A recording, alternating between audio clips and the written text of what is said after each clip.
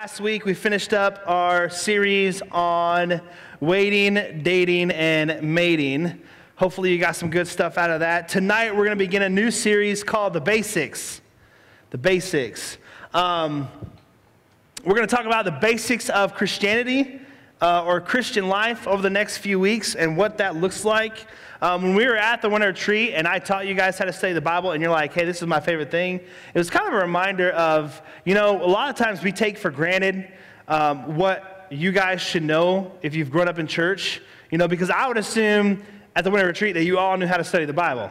So it was a learning thing for me as well as you. So, with that, I decided we're going to spend the next few weeks talking about some of the, the Christian life principles or some of the things um, that, that Christian life is about. Things like scripture, things like prayer, things like worship, things like belonging to church, things like tithing, things like baptism. These are all things that if you belong to, if you're a Christian, that some point in your life this, these things are going to happen you're going to encounter them you're going to you're going to live them out whatever they're all different basic things that we should put into our life uh, if we're a christian uh, because it's almost impossible to grow closer to God if we don't understand the basics. Much like building a house is impossible if you don't first lay a foundation.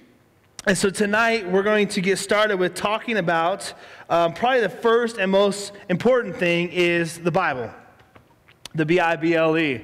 You guys know that song? The B I B L E, yes, that's the book for me. I stand alone on the Word of God, the B I B L E. How many of you guys know that song? How many of y'all don't know that song? That's okay. The only reason we know it is because we grew up in church. Um, so tonight we're going to talk about the Bible. Um, we're going to answer questions like where it came from, why we should believe it, and uh, at the end I'll talk again about how to study it in case you weren't at the winter retreat.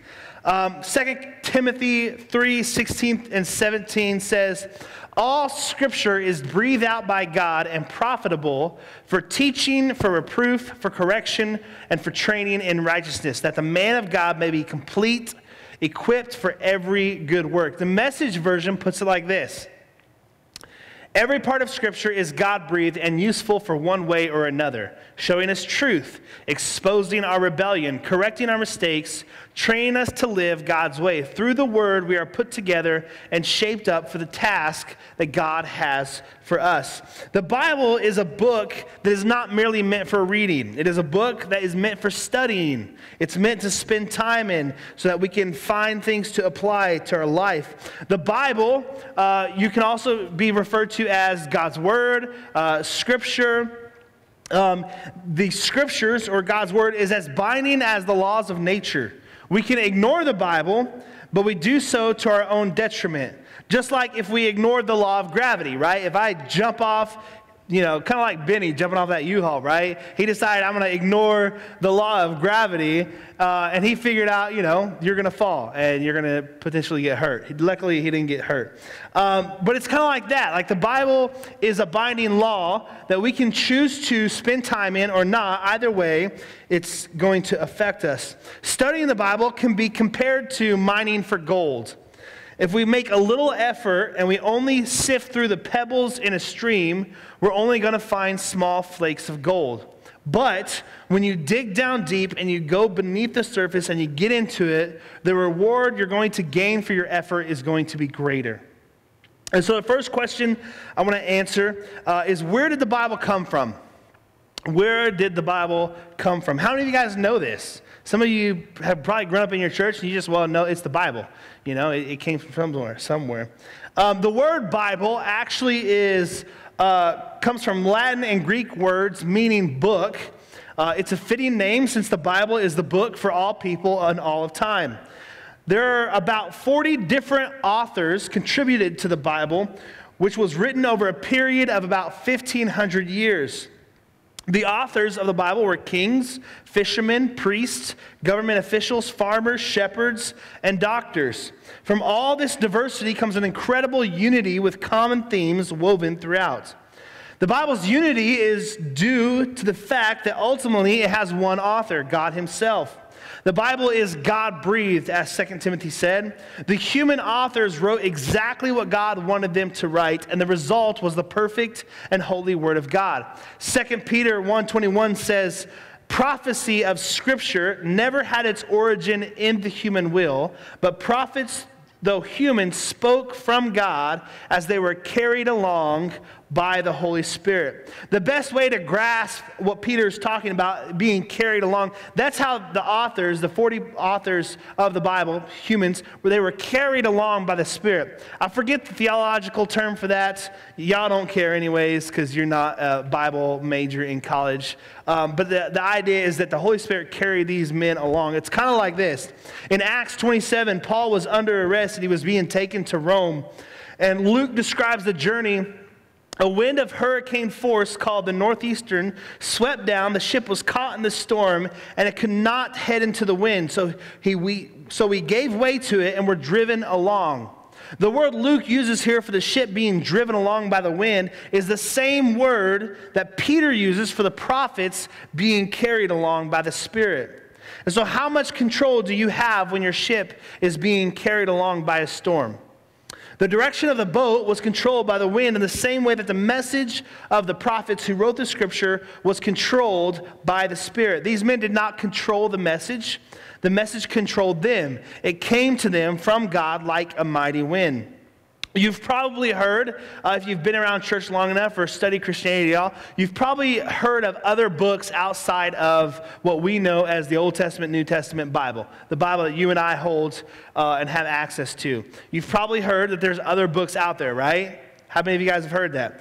Um, but in AD 363, the Council of La- Laodicea stated that, the, the, that only the Old Testament, along with the book of the Apocrypha and 26 books of the New Testament, everything but Revelation, were canonical. Canonical. Canonical means we're going to put, this is what we're saying, these, these uh, books of the Bible are what's important. These were the things that were put into our Bible. And then in 393 AD, the Council of Hippo, and then in 397, the Council of Carthage also affirmed the same 27 books as authoritative. And so, something important to remember about these councils. So, these were just a couple hundred years after Jesus, right? And so these councils met together, you know, because there was all these other writings that they were finding at this time. And so they got together and they said, well, you know, we need to establish what books are going to fall in the canon of Scripture. What books, what letters are going to be part of what we know as the Bible. And the council followed some principles to determine whether uh, a New Testament book was truly inspired by the whole. The Old Testament, they were like, we know that. That's kind of, it's, it's Jewish custom. It's been that way all along. They left the Old Testament kind of alone, but the New Testament is the one they had to decide which books are going to be the ones that are important and that we're going to put as the Bible, right?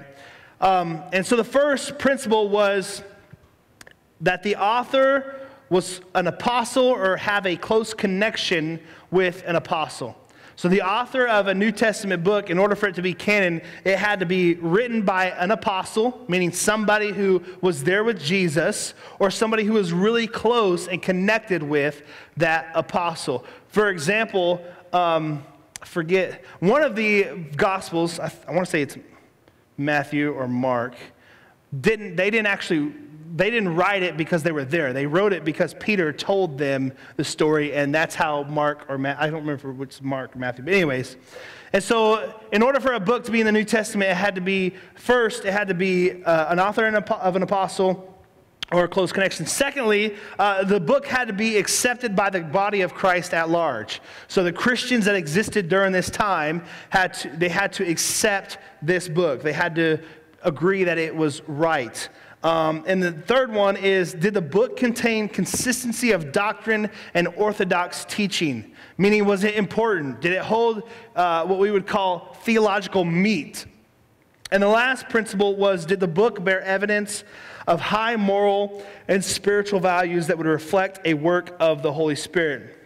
And so these councils during this time, right after Jesus, right, deciding which New Testament books and letters will be included in the New Testament, um, they use these principles to help determine. But it's important for us to remember that even though the council made some decisions, they did not determine the books of the Bible. It was ultimately God who determined the books of the Bible. No early church council decided on the canon. It was God and God alone who determined which books belonged in the Bible. Because we know that God works out everything for, uh, for our good and His glory, and we know that He is fully in control. That means that the decisions that the councils made at this time as well were carried along by the Spirit. And so we can trust that the books uh, that are in our Bible are what we need to know in order to gain more understanding of who Jesus is, who God is, and what it, li- what it means to live as a Christian. Second thing I want to talk about is why should we believe? Why should I believe the Bible? Why should I believe it? What is it that makes it b- believable? Um, the internal evidence of Scripture's legitimacy provides many compelling arguments for why one should believe the Bible. The first one is the unique message of the Bible sets it apart from other religious texts. The Bible, for instance, teaches that mankind is inherently evil and deserving of eternal death. If man were responsible for the content of the Bible, the view of humanity would not be so dark. We tend to make ourselves look good. The Bible also teaches that humans can do nothing of themselves to remedy their natural state. This too goes against human pride. You see, other religious texts put men, men and mankind at the center, and it, and it makes them seem like they can attain some type of glory or they can attain some type of thing. The Bible is the only religious text that sets mankind apart, saying we are inherently evil and not in a good state. The second one is the unity of the biblical message.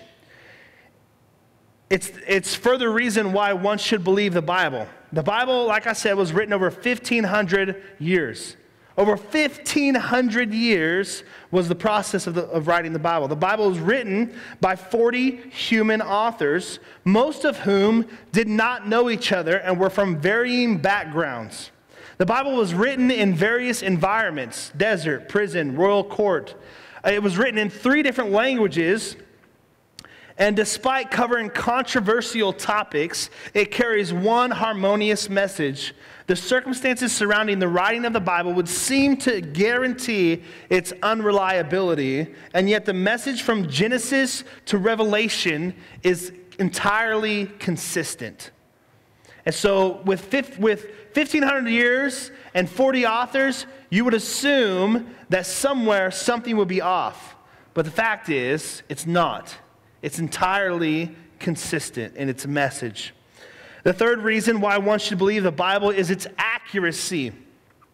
Its accuracy.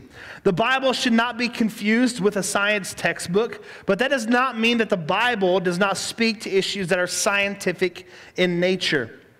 The water cycle that you learned in elementary was described in Scripture centuries before it was a scientific discovery. In some cases, science and the Bible have seemed to be at odds with each other. Yet, when science has advanced enough, the scientific theories have proved wrong, and the Bible has proved right. For example, it used to be a standard medical practice um, to bleed patients to cure illnesses. Many people died because of excessive blood loss. Now, that we've advanced in our technology and scientific methods, we know that uh, bloodletting is not a cure and it's actually counterproductive against diseases. But the Bible has always taught that the life of a creature is in the blood, Leviticus 17 11. And so, when it, every time science advances, the, you, you can't, the Bible is scientifically correct. The problem is scientists aren't smart enough to understand it. So, the fourth reason the Bible, we should uh, believe the Bible is its truth claims concerning world history that have also been substantiated. Skeptics used to criticize the Bible for its mention of the Hittite people in Kings 7 and 7 6. The lack of any archaeological evidence to support the existence of a Hittite culture was often cited as a rebuttal against Scripture. But in 1876, archaeologists discovered evidence of the Hittite nation. And by the early 20th century, the vastness of the Hittite nation and its influence in the ancient world was common knowledge. Again, the Bible is correct. The fifth reason why we should believe the Bible is it contains fulfilled prophecies. Some of the, the writers and authors of the Bible made claims about future events, uh, sometimes centuries in advance. If any one of those events pre- that pre- were predicted had actually occurred, it would be outstanding. But the truth is, the Bible contains many, many prophecies that would be fulfilled. Some of the predictions were fulfilled in a short amount of time, like Abraham and Sarah having a son. Peter denied Jesus three times. Paul was a witness for Jesus in Rome. Other predictions were fulfilled hundreds of years later. There are 300 messi- messianic prophecies fulfilled by Jesus from the Old Testament that could not have reasonably been fulfilled by one person unless some greater power was involved. Specific prophecies like Jesus' birthplace, activities, his manner of death, and resurrection demonstrate the preternatural accuracy of Scripture, right? And so, what's that saying? Is it saying, like, for example, the, the amount of time between the Old Testament and New Testament is 400 years. And so, all the prophecies about Jesus in the Old Testament came way earlier than when Jesus actually showed up on the scene. And when he showed up on the scene, he fulfilled all the prophecies, right? And so we know that the Bible contains and has fulfilled the prophecies that it's given. When we put it to the test, the Bible is proved true in every area. And lastly, how do I study the Bible? I should have some of y'all come up and teach this. Um, how do I study the Bible? Scripture, observation, application, prayer, otherwise known as SOAP right?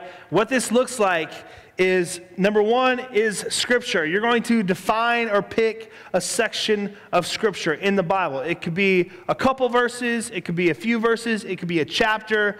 You're going to pick a section of scripture and you're going to read it. And if you want to take another step, you can actually write it out to help you memorize it. Write it out a few times, spend time reading the scripture. Secondly, you're going to observe the text. You're going to observe the section of scripture that you've picked out.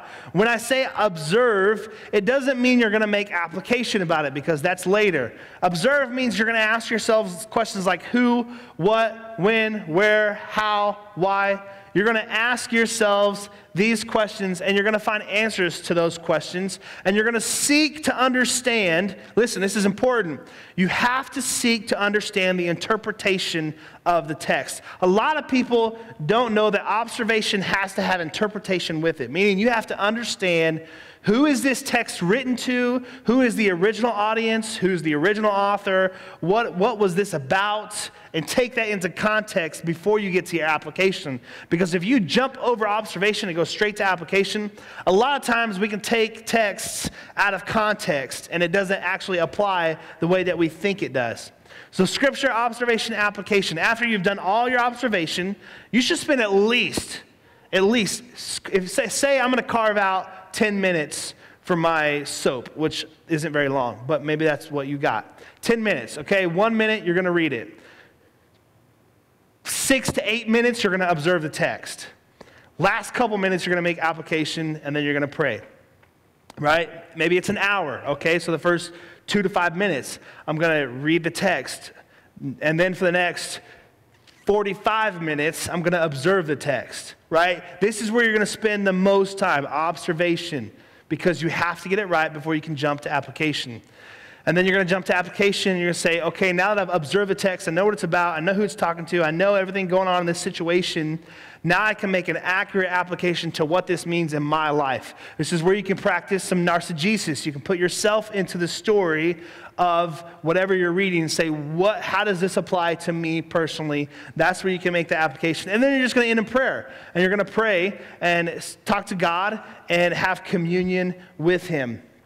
So, how do I study the Bible? Soap. Scripture, observation, application, prayer.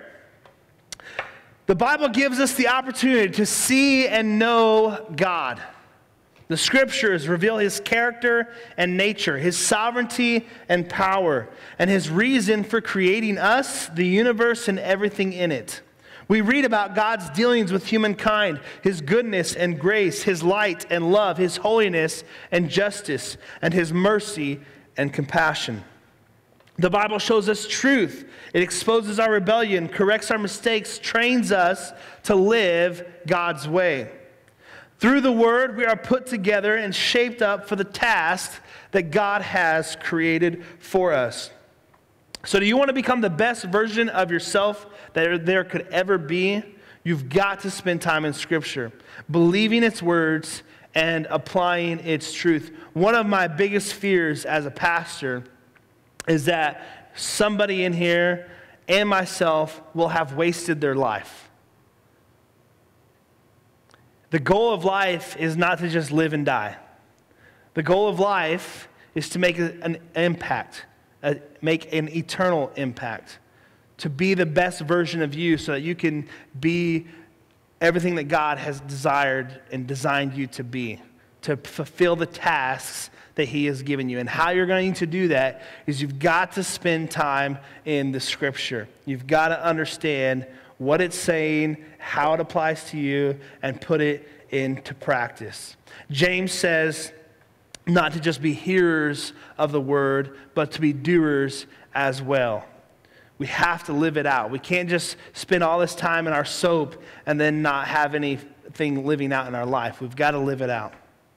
That's what I got for you guys this, uh, tonight, talking about the basics, talking about scripture. Um, next week, I don't remember. I think it's worship we're going to talk about next week.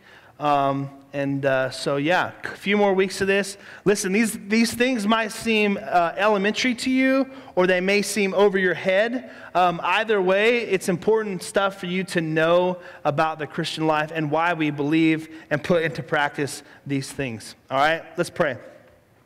Heavenly Father, Lord, we come before you, and God, we thank you for your scriptures and how you've revealed yourself to us through your scripture. God, thank you for the 40 plus authors and the, the years that it took to put this together and, and how we can benefit from it. And God, I ask that we would um, look at this word as a lamp to our feet, that we would read it, we would spend time in it, that we would u- practice it. God, I ask that you would give us opportunities to um, dig deeper into it and to really get um, the best out of it. God, I pray these things in your name, Father. Amen.